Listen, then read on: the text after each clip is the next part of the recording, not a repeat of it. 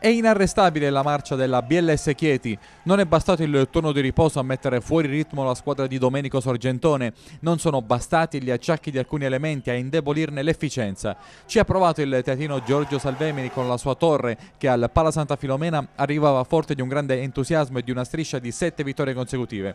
Ma la partita in sostanza non ha avuto discussioni se non nei primi minuti. Sorgentone parte con un quintetto basso, Gallerini non è al massimo e allora trio di esterni Raiola, Musso, Giallo Loreto. Assente Carpinetti. Torre con l'acciaccato Bigi nello starting 5. Sotto Porfido e l'ex Peruzzo. Buona la sua partita da 14 punti e 22 di valutazione in 31 minuti. L'inizio della capolista è sonnolento. Torre entra meglio nel match e si porta sul 12 a 8 grazie alle conclusioni di Porfido e ai siluri dalla distanza di Antonello Giordano. 12 punti, 3 assist ma 3 su 9 dal campo per la guardia pescarese. Ma quando Chiti si sveglia sono dolori. A suonare la carica è Fabrizio Gialloreto. L'Enfant du Pays aggiusta la mira e scardina dall'arco la difesa torrese, 19 punti con 5 su 8 da 3 per il play guardia.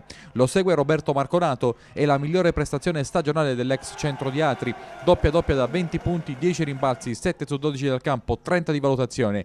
Chieti domina coi lunghi, in doppia doppia anche Picchio Feliciangeli, 19 punti, 13 rimbalzi, anche per lui 30 di valutazione. La BLS piazza un parzialone di 19 a 0 che porta il risultato sul 27 a 12 che Torre prova vanamente a limare prima dell'intervallo.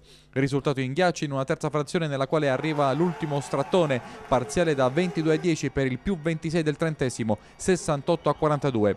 Garbage time nell'ultimo quarto davanti ai circa 800 spettatori presenti nell'impianto teatino fino all'84 a 62. Da rimarcare anche la doppia doppia di Raiola, 10 punti e 10 assist per Torre, 9 punti di Bigi, Savini e Porfido, 5 del teatino Brandi Marte, male l'altro ex Castelluccia, 0 punti in 22 minuti. Chieti resta saldamente in vetta alla classifica. Torre dei Passeri sempre in piena zona playoff. La sconfitta non macchia la splendida stagione dei ragazzi di Salvemini.